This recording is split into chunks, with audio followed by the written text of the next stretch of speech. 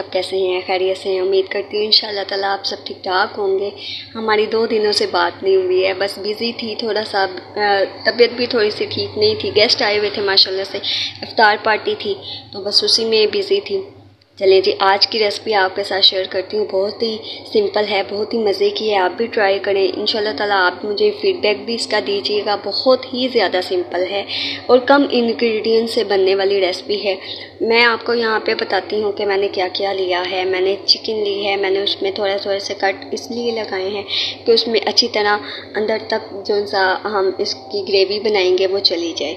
साथ ही साथ मैं आपको बताती हूँ, मैंने सूखा धनिया लिया था, नमक लिया है पिसा हुआ ज़ीरा लिया है घर का चाय ले लें आप बाहर का ले लें काली मिर्च ली है कोकोनट पाउडर लिया है ग्रीन चिली ली है, पुदीना है, हरी मिर्च है इसमें, धनिया है और साथ ही साथ इसमें मैंने पुदीना ऐड किया है, उसको मैंने ब्लेंड कर लिया है।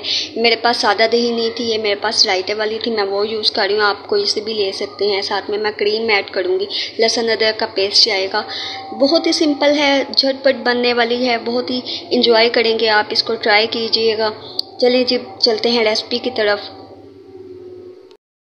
सबसे पहले हम इसमें काली मिर्च और थोड़ा सा दालचीनी ऐड करते हैं ऑयल ले लें आप, घी ले लें, मैंने ऑयल यूज़ किया है इसमें। जैसे ही हमारा ऑयल गर्म, वो उसकी खुशबू आने लगेगी। तो आपने सबसे पहले इसमें चिकन ऐड करना है, साथ ही साथ आपने कुछ भी नहीं ऐड करना, लहसुन, अदरक का पेस्ट यूज़ करना है और उसके पानी में ही आपने चिकन को बनाना है, क्योंकि जितना इसका फ्लेवर आएगा चिकन में, उतना ही टेस्ट आएगा। ये देखें जी, इसमें अब हम लहसुन ऐड करने जा रहे हैं।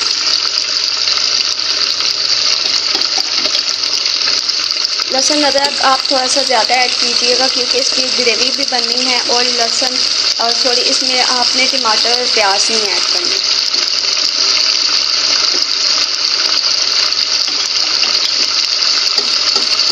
चलिए, इसमें अब हम ज़्यादा पानी डालेंगे। इसमें चला गया है, गरम मसाला चला गया है, चिकन चला गया है, ऑयल चला गया है। अब हम इसमें पानी डाल के इसको 10 मिनट के लिए ढक देंगे। दस मिनट नहीं, आप पाँच मिनट इसको ढक दीजिएगा क्योंकि और भी इसके प्रोसीजर हैं। इसीलिए।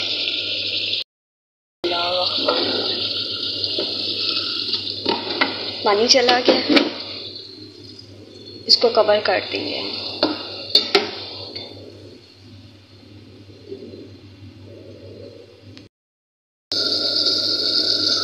ये देखें जी, यहाँ पे पाँच मिनट गुजर चुके हैं तो अब काफ़ी हद तक ये फ्राई हो गया इसमें हम, जो पेस्ट हमने बनाया हुआ था, वो ऐड करते हैं।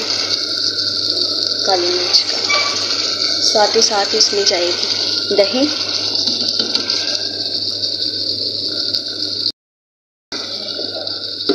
इसको अच्छी तरह मिक्स करेंगे।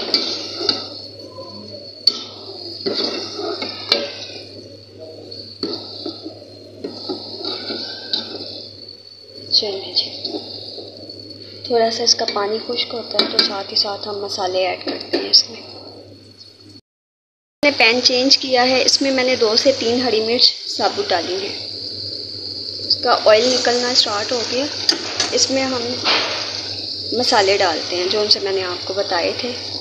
कोकोनट है, इसमें पिसा हुआ कोकोनट है, ज़ीरा है, धनिया पाउडर है, नमक है, काली मिर्च है, बिस्मिल्लाह।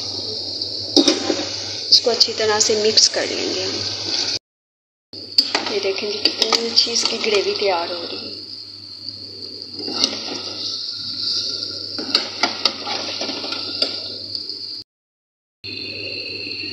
चलिए जी, इसका ऑयल निकल आया है। अच्छी तरह ये बन गया इसमें हम क्रीम ऐड करते हैं।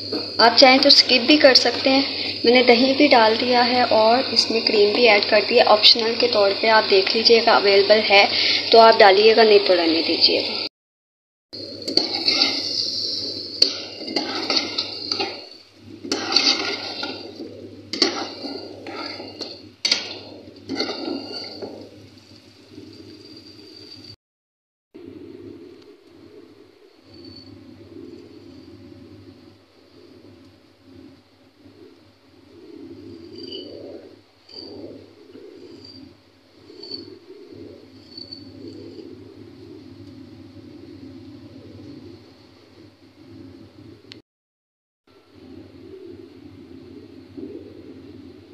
इतना मज़े का, इतना जूसी इतना मज़े का माशाल्लाह टेक्सचर आया टेस्ट बहुत इसका अच्छा होगा, क्योंकि मैं बनाती रहती हूँ ऐसी रेसिपीज़ तो आप भी ट्राई कीजिएगा, आपको भी इंशाल्लाह ताला पसंद आएगी, अपना फ़ीडबैक ज़रूर दीजिएगा और सब्सक्राइब करना ना भूलिएगा, अपनी दुआओं में याद रखिएगा हिनाज किचन को। मुझे दे इजाज़त, मिलते हैं नेक्स्ट रेसिपी में नेक्स्ट वीडियो के साथ।